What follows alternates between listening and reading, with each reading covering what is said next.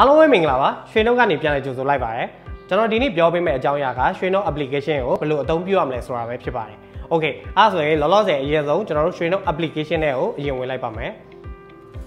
အာရွှေနှုတ် application နဲ့ဝင်လိုက်ပြီဆိုရင်အရင်ဆုံး announcement category newly added collection popular random feed ဆိုပြီးတော့အားလုံး9ခုရှိပါတယ် Okay ဒီ announcement မှာတော့လက်တလုံးမှာလက်ဆောင်စာအုပ်တွေကိုပဲကျွန်တော်တို့ကတင်ပေးထားတာဖြစ်ပါတယ်။နောက်ပိုင်းကျလို့ရှိရင်တော့နောက်ထပ်ပုံမထူးခြားတဲ့ features update တွေကျွန်တော်တို့ဒီပေါ်မှာတင်ပေးထားမှာပဲဖြစ်ပါတယ်။ category မှာဆိုလို့ရှိရင်အားလုံးပေါင်း10ခုရှိပါတယ်။ပြီးရင်ကျွန်တော်အသေးစိတ်ပြောပြပေးပါမယ်။နောက်တစ်ခုကကျတော့ newly added newly added မှာဆိုလို့ရှိရင်ကျွန်တော်တို့စာအုပ်အသစ်အသစ်တွေကို update လုပ်ပေးထားတဲ့ဟာတွေကိုကျွန်တော်တို့ထည့်ပေးထားတာပါ။ အရင်ဆုံးမြင်ရတဲ့ဟာဆိုလို့ရှိရင်တော့ဒါကျွန်တော်တို့နောက်ဆုံးတင်ပေးထားတဲ့စာအုပ်ပဲဖြစ်ပါတယ်ကျွန်တော်တို့စာအုပ်တွေကိုနှစ်ရက်တစ်ခါတင်ပေးပါတယ်စာအုပ်အသစ်တွေကိုအားကြောင့်မို့စာအုပ်အသစ်တွေထွက်ပြီဆိုလို့ရှိရင်ကျွန်တော်တို့ဒီ new feed ရဲ့အရှိဆုံးမှာအရင်ဆုံးတွေ့ရမှာဖြစ်ပါတယ် okay ပြီးရင် collection collection မှာဆိုလို့ရှိရင်ကျွန်တော်တို့ဒီ online စီးပွားရေးလုပ်ချင်တဲ့သူတွေ digital marketing ကိုလုပ်ချင်တဲ့သူတွေတိုးတက်ပြောင်းလဲချင်တဲ့သူတွေ smart lady ဖြစ်ချင်တဲ့သူတွေအစားရှိသဖြင့်ခေါင်းစဉ်လေးကျွန်တော်တို့အများကြီးခွဲပြီးတော့အဲခေါင်းစဉ်ရဲ့အောက်မှာသူနဲ့သက်ဆိုင်တဲ့စာအုပ်လေးတွေကို collection အနေနဲ့ကျွန်တော်တို့ရွေးချယ်ပေးထားပါတယ် popular ထဲထဲမှာဆိုလို့ရှိရင်ကျွန်တော်တို့လူကြိုက်အများဆုံးစာအုပ်တွေကိုကျွန်တော်တို့ထည့်ပေးထားတာဖြစ်ပါတယ်စဉ်းစားရခက်နေရဆိုလို့ရှိရင်ကျွန်တော်တို့ဒီ popular ထဲကနေပြီးတော့မှစာအုပ်တွေတွားရောက်ဖတ်ရှုလို့ရပါတယ်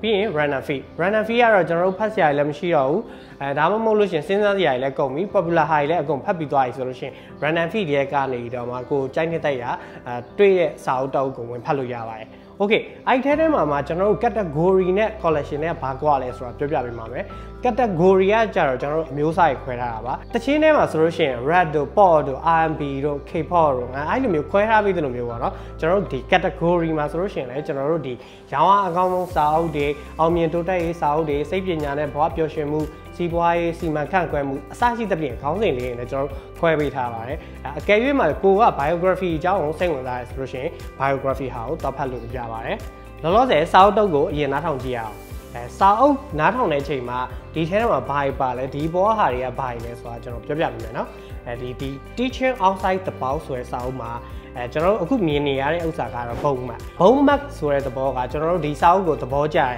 ကျွန်တော်တို့ဒီဖုန်းနံပါတ်တွေပါမှာဆိုလို့ရှိရင်လည်းကျွန်တော်တို့ content list ထဲမှာကျွန်တော် favorite တွေမှတ်ထားရလေကျွန်တော်တို့ရဲ့အရေးကြီးတဲ့ပုံကိုယ်တို့ဘာလို့အဲအဲ့လိုသဘောမျိုးပဲပေါ့နော်ကျွန်တော်တို့ဒီ ဘုံမှတ်ကိုလည်းကျွန်တော်တို့အဲ့လိုမျိုးရွေးချယ်ထားလို့ရပါတယ်ကိုချင်းနဲ့တက်တဲ့စာအုပ်တွေအဲဘယ်စာအုပ်တွေတော့ကိုကကြိုက်တယ်ကြိုက်တယ်ဆိုလို့ရှိရင်ဘုံမှတ်အနေနဲ့သွားမှတ်ထားလို့ရပါတယ်ပြီးတော့မှပဲကျွန်တော်ကိုအချိန်အားရဆိုတော့မှဒီဘုံမှတ် selection ကိုတွားကြည့်ပြီးတော့အော်ကိုဖတ်ချင်တဲ့စာအုပ်တွားမှတ်ထားလို့ရတယ်ဟုတ်ပြီသူဘေးနားကကြတော့ download အဲ download ဆွဲထားလို့ရှိရင်ကျွန်တော်တို့ဒီ download ဆိုရဲဒီအဲပြီးရင်ကျွန်တော်ပြပြပေးမယ်ပေါ့နော်အဲ download ဆိုတဲ့နေရာထဲဝင်သွားလို့ရှိရင်ကိုယ့်စီက wifi မရတာပဲဖြစ်ဖြစ်ဒါမှမဟုတ်လို့ရှိရင် အာ internet data ကုန်သွားတာပဲဖြစ်ဖြစ်အာ wifi မရတဲ့နေရာရောက်နေရပဲဖြစ်ဖြစ်ဒီ download ဆွဲထားရဆိုလို့ရှိရင်အလွယ်တကူဒီ wifi မရှိလဲသွားနာထောင်လို့ရပါတယ် okay ပြီးသွားရင်ဒီဘက်ခါလေးကတော့ share share ခလုတ်ကလေးကဘာလဲဆိုလို့ရှိရင်ကျွန်တော်တို့ဒီစာအုပ်ကိုကိုယ့်ရဲ့တငယ်ချင်းတယောက်ယောက်မျှဝေချင်တာဒါမှမဟုတ်ကိုယ့်ရဲ့ Facebook ပေါ်မှာမျှဝေချင်တာပဲဖြစ်ဖြစ်အဲတခုခုပေါ့နော် link တခုခုချိတ်ပြီးတော့တခြားသူကိုပေးချင်တာပဲဖြစ်ဖြစ်ကျွန်တော်တို့ဒီ share ဆိုတဲ့ click လေးကိုနှိပ်ပြီးတော့ copy ယူပြီးတော့တခြားတယောက်ယောက်ပြန်လည်မျှဝေလို့ရပါတယ် sample sample ကကြတော့ကျွန်တော်တို့ဒီ subscription ဝယ်တဲ့သူတွေအတွက်အစမ်းအနေနဲ့ဝင်ရောက်ဖတ်ရှုလို့ရအောင်ထားထားပေးတာဖြစ်ပါတယ် okay ပြီးရင်ကျွန်တော်တို့ဒီမှာနှစ်ခုပဲရှိတယ်ခလုတ်ကလေးက read ရယ် listen ရယ် read ကကြတော့ကျွန်တော်တို့ဒီ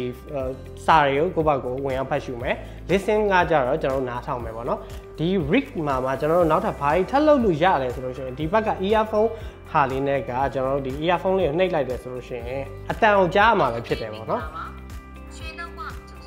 အဲကျွန်တော်အခုခဏလောက်တော့ပိတ်ထားလိုက်မယ်ဒီဗီဒီယိုရှင်းပြနေတဲ့အတွက်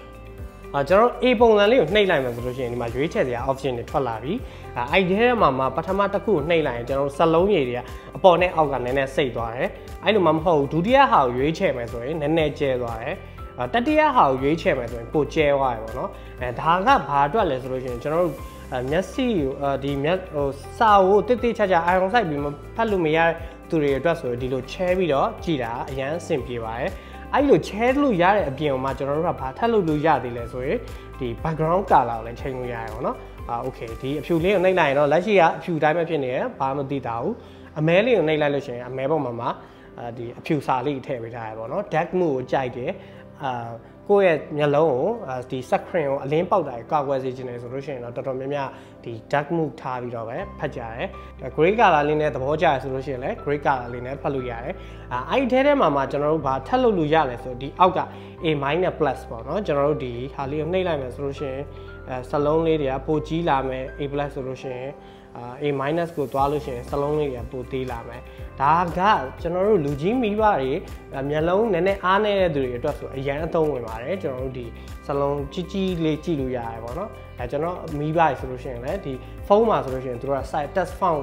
site ကိုကသူတို့အကြီးထားထားပေးရဖြစ်တဲ့အတွက်သူတို့တွေဖတ်လို့ရှိရင်လုံးဝအရန်အဆင်ပြေရပါတယ်ဒါကတော့ကျွန်တော်စာဖတ်လို့ရတဲ့အပိုင်းကိုပြောပေးသွားတာပဲဖြစ်ပါတယ် listen အာ listen ထဲမှာဆိုလို့ရှိရင်လည်းကျွန်တော်တို့ဒီ ဘေးနားက menu bar လေးကိုနှိပ်မယ်ဆိုလို့ရှိရင်အာဒီ overview ထွက်လာမယ်ပေါ့နော်အခန်းတစ်ကတော့ဘာပါအခန်းနှစ်ကတော့ဘာဖြစ်တယ်အခန်းသုံးကတော့ဘာညီကုန်းချုပ်ကတော့ဘယ်လိုမျိုးအကယ်၍မှာကျွန်တော်တို့ကမနေတော့အခန်းတစ်ကိုဖတ်လိုက်တယ်အခန်းနှစ်ပဲကြံတော့တယ်အာဒါမျိုးဆိုလို့ရှိရင်ကျွန်တော်တို့ဒီ menu bar တွေကနေတော့မှအခန်းနှစ်လေးကိုတွတ်နှိပ်လိုက်တာနဲ့အခန်းနှစ်လေးစီရောက်သွားမှာပါ okay အဲ့ဒီထဲမှာမှကျွန်တော်တို့ဖတ်မယ်ဖတ်ပွားလို့ရှိရင်နောက်ထပ်ဟိုဘက်ကို slide လုပ်လိုက်မယ်အာဖတ်မယ်ပြီးရင် slide လုပ်မယ်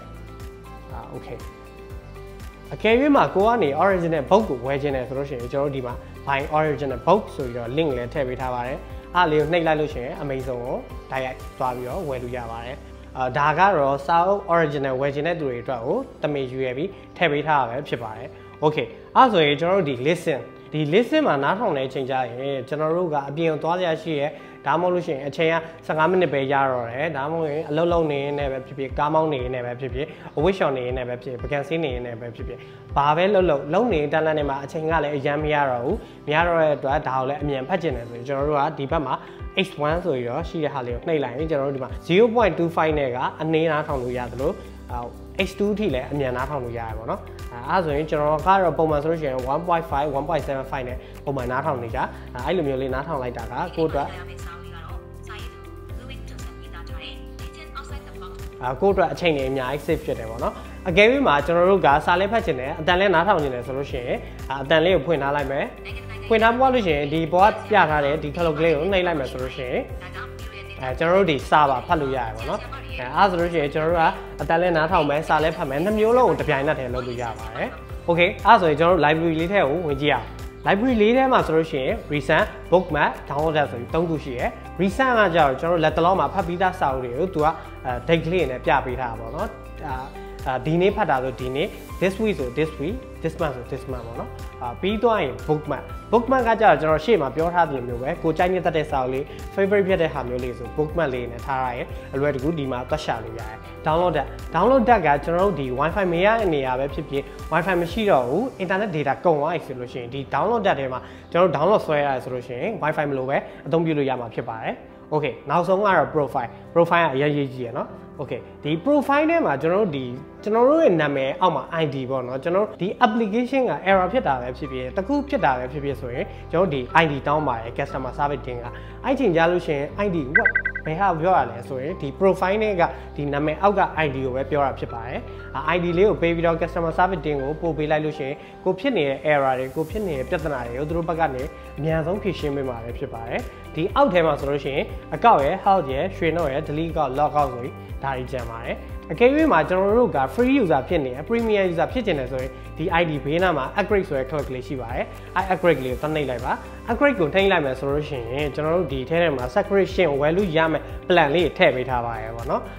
6လစာတစ်နှစ်စာ lifetime plan business package ဆိုပြီး၄မျိုးရှိရယ်ကိုကြိုက်နှစ်တိုက်အ plan လေးကိုဝယ်ယူသုံးပြုလို့ရပါတယ်ဒီ subscription နဲ့ပတ်သက်ပြီးတော့ကျွန်တော်နောက်ဗီဒီယိုမှာတေချာသေးစိတ်ရှင်းပြပေးထားပါတယ် okay အဲ့ဒါဆိုရင်ကျွန်တော်တို့ဒီဘက် profile ဘက်ကိုပြန်သွားရအောင်အကောင့်အကောင့်ထဲမှာဆိုလို့ရှိရင်ကျွန်တော်တို့ restore purchase ရဲ့ redeem code ရယ်ဆိုရင်နှစ်မျိုးရှိရပါတော့ restore purchase ကကြတော့ကျွန်တော်ဒီ subscription ဝယ်ပြီးသွားပြီဆိုလို့ရှိရင်ဒီ plan ပြန်ပယ်ဖက်ချင်တယ်ဆိုလို့ရှိရင်ကျွန်တော်တို့ဒီ restore purchase လေးကိုတွား yes လေးကိုနှိပ်ပေးလိုက်ပါဒါမျိုးဆိုလို့ရှိရင်ကျွန်တော်တို့ဒီဒီ subscription ကိုပယ်ဖြတ်ပြီးသားဖြစ်သွားပါလိမ့်မယ် reading code မှာဆိုရင်ကျွန်တော်တို့ဒီ Facebook Messenger ကနေတော့အဲတွားဝယ်လို့လည်းရသလိုအပြင်ဆိုင်တွေ offline မှာလည်းတွားဝယ်လို့ရပါတယ်ဝယ်ယူလို့ရရှိတဲ့ဆိုင်တွေက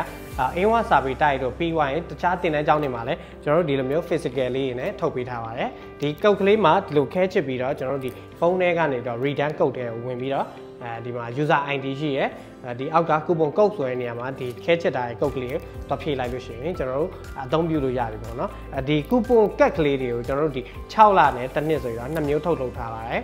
အားဟာတွေကိုတော့ဝယ်ယူလို့ရရှိမဲ့ဆိုင်တွေကိုကျွန်တော်တို့ဒီ Facebook page ကနေတော့ announcement လုပ်ပေးမှာပဲဖြစ်ပါတယ် Okay ပြီးသွားရင် help help မှာဆိုလို့ရှိရင် FAQ အမေးအများဆုံးမေးခွန်းတွေပေါ့နော်အမေးအများဆုံးမေးခွန်းတွေကဘာတွေဖြစ်မလဲဆိုတာကိုအဲကျွန်တော်တို့ဒီမှာထည့်ပေးထားတယ် Apple ဖုန်းတွေအတွက်ဝန်ဆောင်ကဘယ်လိုပေးချင်ရမလဲ Android ဖုန်းတွေမှာဝန်ဆောင်ကဘယ်လိုပေးချင်ရမလဲအစရှိသဖြင့်ကျွန်တော်တို့အမေးအများဆုံးမေးခွန်းတွေကိုကျွန်တော်တို့ဒီထဲမှာဖြည့်ပေးထားတယ်မသိရင်လည်းတွားရောက်ဖတ်ရှုလို့ရပါတယ် content as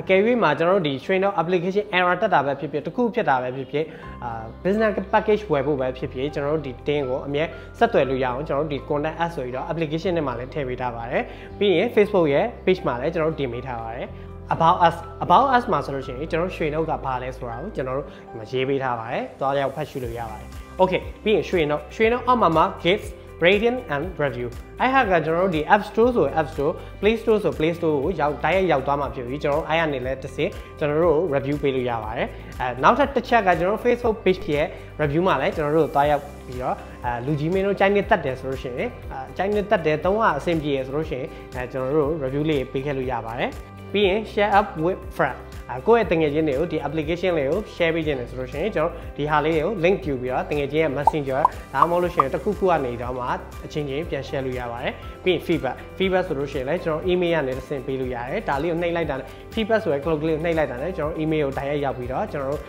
feedback လေးပေးလို့ရပြီပေါ့နော် daily account daily account ကတော့ကျွန်တော်တို့ဒီရွှေနှုတ် account ကိုဆက်မသုံးချင်တော့ဆိုလို့ရှိရင် daily account နှိပ်လိုက်လို့ရှိရင်အပြီးတိုင်းပြတ်သွားမှာပဲဖြစ်ပါတယ်ပြီးရင် log out log out ကကြတော့ကျွန်တော်တို့အဲနောက်ထပ်ဖုန်းနံပါတ်နဲ့ဝင်မလားဒါမှမဟုတ်လို့ရှိရင်နောက်ထပ် email အသစ်နဲ့ဝင်မယ်ဆိုရင်ကျွန်တော်တို့က log out လေးလုပ်ပြီးတော့နောက်ထပ် email တစ်ခုဒါမှမဟုတ်ဖုန်းနံပါတ်တစ်ခုနဲ့အလွယ်တကူဝင်ရောက်လို့ရပါတယ် okay အဲ့ဒါဆိုရင်ကျွန်တော်အခုရှင်းပြပေးသွားတဲ့အကြောင်းအရာအကုန်လုံးကရွှေနှုတ် application ကိုဘယ်လိုအသုံးပြုလို့ရမလဲဆိုတဲ့အကြောင်းလေးပဲဖြစ်ပါတယ်ဒါကြောင့်ရွှေနှုတ် application ကိုမသုံးတတ်ဘူးဘယ်လိုသုံးရမလဲဆိုပြီးတော့ messenger မှာလာလာမင်းနေရလူကြီးမင်းနေဒီဗီဒီယိုလေးကိုကြည့်ပြီးတော့တေချာအသုံးပြုနိုင်မယ်လို့မျှော်လင့်ပါတယ်ကျေးဇူးတင်ပါတယ်ခင်ဗျာ